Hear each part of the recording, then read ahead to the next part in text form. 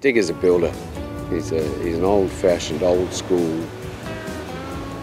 Um, a fair day's work for a fair day's pay, man. Oi. You blokes playing or praying? You finished the Seabricks quotes? Harry's got work. They're trading up. That's a new plane. Is it? Can it use a nail gun? No. Looks like you two have got something in common, doesn't it? It's always uh, a, an absolute challenge to work with Bisley. He's an absolute scoundrel. Here we go. I know the way this one ends. Again.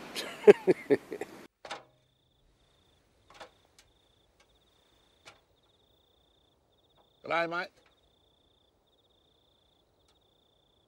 What are you doing?